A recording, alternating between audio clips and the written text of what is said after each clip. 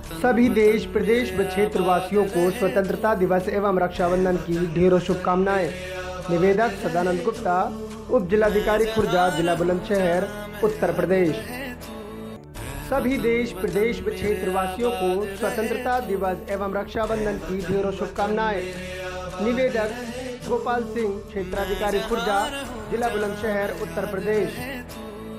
UP के हापुड़ में police को एक बड़ी सफलता हाथ लगी है। पुलिस ने पिलकुआ कोतवाली क्षेत्र में मिनी फाइनेंस कंपनी में हुई चोरी का मात्र 24 घंटे के अंदर खुलासा किया है। पिलकुआ कोतवाली क्षेत्र में मिनी फाइनेंस कंपनी में हुई नौ लाख तेईस हज़ार आठ सौ तीस रुपये की चोरी के मामले में पुलिस ने एक छात्र चोर त्रिवेंद्र को गिरफ़्तार किया है, जिसके पास से चोरी किए गए करीब सात लाख पाँच हज़ार रुपये बरामद हुए हैं। वहीं पुलिस के अनुसार पकड़ा गया छात्र चोर इससे पहले भी कई चोरी की वारदातों को अंजाम दे चुका है। जानकारी के अनुसार पिलकुआ कोतवाली क्षेत्र में कल एक मिनी फाइनेंस कंपनी में करीब नौ लाख रुपए की चोरी हुई थी। फाइनेंस कंपनी में चोरी की सूचना मिलते ही कंपनी संचालक ने इसकी शिकायत पिलकुआ कोतवाली में दी। तहरीर के आधार पर पुलिस ने चोरी का मुकदमा दर्ज कर फरार चोर की तलाश में जुट गई। जबकि मुखबिर की सूचना के आधार पर पुलिस ने त्रिवेंद्र नाम के एक युवक को हिरासत में लिया और युवक से पूछताछ शुरू कर दी।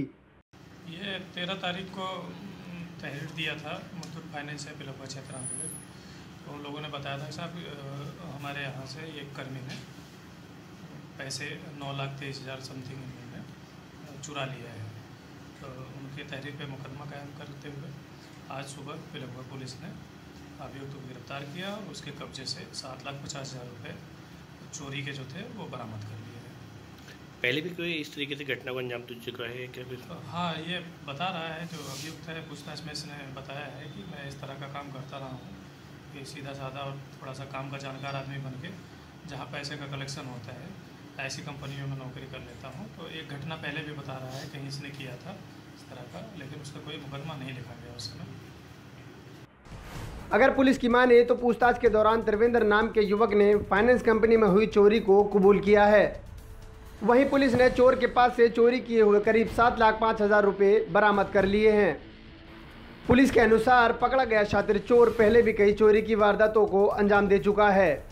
Editor in chief Iqbal Saifi के साथ समझ सिसोदिया, टाइम 24 न्यूज़, हापुड़।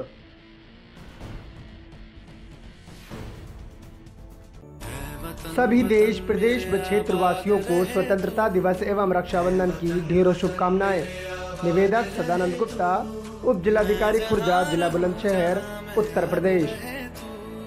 सभी देश, प्रदेश व क्षेत्र वासियों को स्वतंत्रता दिवस एवं रक्षाबंधन की ढेरों शुभकामनाएँ। निवेदक गोपाल सिंह, क्षेत्राधिकारी खुर्जा, जिला बुलंदशहर, उत्तर प्रदेश।